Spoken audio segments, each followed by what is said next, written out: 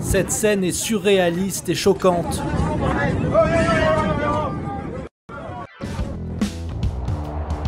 Une bagarre éclate vendredi dernier sur un vol d'Air Caraïbes entre Paris et Cayenne.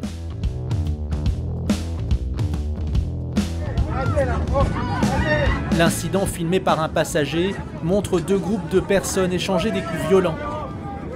Il faudra l'intervention de plusieurs membres d'équipage et de passagers pour finalement y mettre un terme.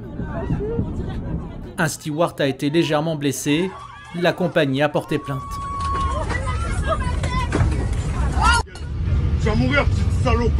L'origine de l'altercation n'est pas connue selon la compagnie aérienne que nous avons interrogée, mais trois passagers ont été interpellés par la police dès leur arrivée à Cayenne et placés en garde à vue. Depuis plusieurs années, les violences se développent dans les avions, pouvant compromettre la sécurité d'un vol. Une consommation excessive d'alcool en est très souvent à l'origine, et avec la crise sanitaire,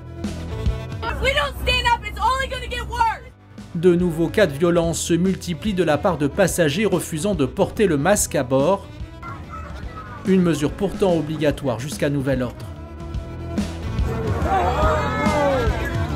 Mais que dit la réglementation? En matière d'incivilité à bord d'un avion, c'était jusqu'à maintenant la justice du pays d'immatriculation de l'avion qui était seule compétente, mais depuis le 1er janvier 2020, la justice du pays de destination ou de déroutement peut aussi être saisie. En France, ce délit est passible de 45 000 euros d'amende et de 3 ans de prison, mais la sanction peut être beaucoup plus lourde en fonction de la gravité des faits.